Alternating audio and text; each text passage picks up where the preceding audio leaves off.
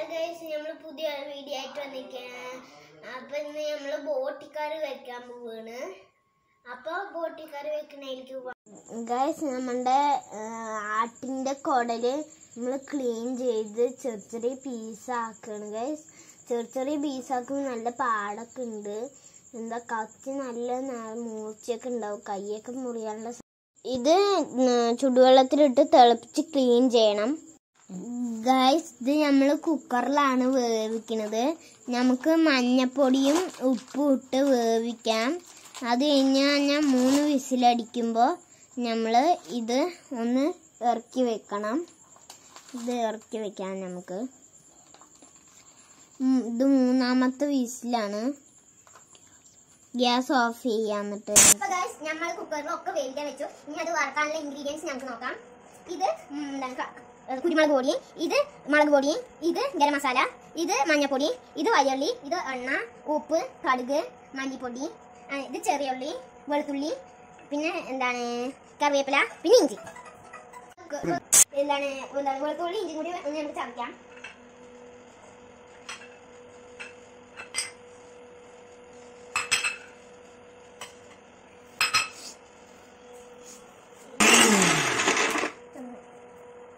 Guys തടഞ്ഞത് അപ്പൊ guys നമുക്ക് ഗ്യാസ് കത്തിക്കാം.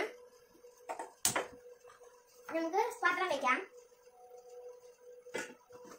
പാത്രം വെച്ചു. ഇനി നമുക്ക് ഗ്യാസ് ഇട്ടെത്തുന്നതുകൊണ്ടാണ് നമുക്ക് എണ്ണ അയച്ചു കൊടുക്കാം. അപ്പൊ നമുക്ക് എണ്ണ കുറച്ച് വെക്കാം.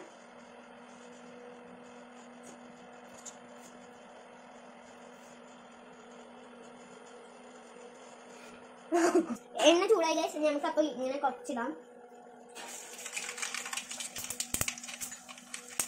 ഇട്ടുണ്ടാവും പൊട്ടുന്നേ അപ്പൊ ഗൈസ് നമുക്ക് കറിവേപ്പില ഇടാം.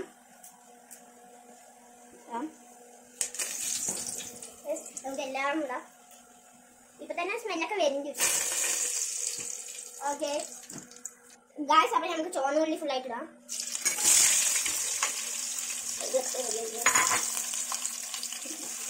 അത് നമുക്ക് നടക്കാം.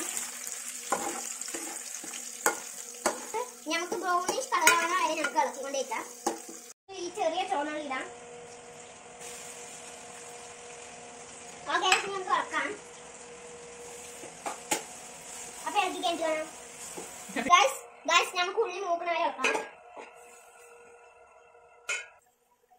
അപ്പൊ ഗൈസ് ഉള്ളി മൂത്ത് വന്നിട്ടുണ്ട്. ഇനി നമുക്ക് ഇഞ്ചിഞ്ചി വെളുത്തുള്ളി പേസ്റ്റ് ഇടാം.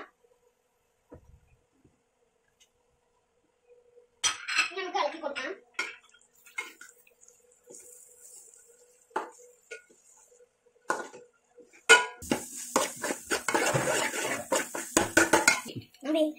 അപ്പൊ ഗൈസ് നമുക്ക് ഇനി പൊടി ഐറ്റംസ് ഇടാം. ഫസ്റ്റ് നമുക്ക് മഞ്ഞപ്പൊടി ഇടാം. അപ്പൊ ഗൈസ് നമുക്ക് ഇനി മല്ലിപ്പൊടി ഇടാം.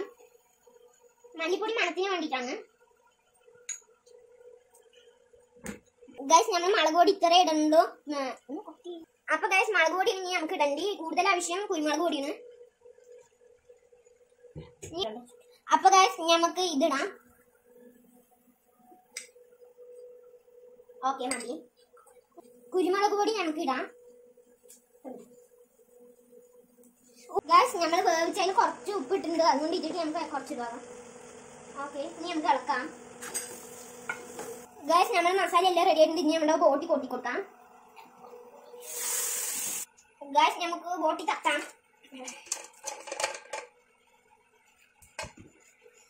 ഇതുപോലെ നന്നായിട്ട് ചുട്ടിയെടുക്കണം. ഇനി കുറച്ചും കൂടി ചുട്ടിയെടുക്കണം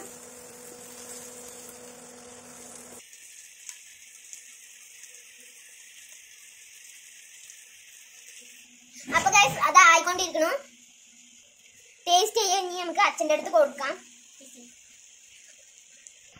ഇത് ഞങ്ങൾക്ക് അച്ഛന്റെ അടുത്ത് ടേസ്റ്റ് സൂപ്പർ ആയിട്ടുണ്ട് ഉണ്ണികൃഷ്ണൻ ഇത് നന്നായിട്ട് വെച്ചിട്ടുണ്ട്. വെരി ഗുഡ് കീപ് ഇറ്റ് അച്ഛന് ഇത് നന്നായിട്ട് ഇഷ്ടപ്പെട്ട് ഈ വീഡിയോ എല്ലാവരും ഒന്ന് ഉണ്ടാക്കി നോക്കണം. അപ്പൊ വൈൻഡപ്പ് ചെയ്യണം. ബൈ ബൈ ചെയ്യൂ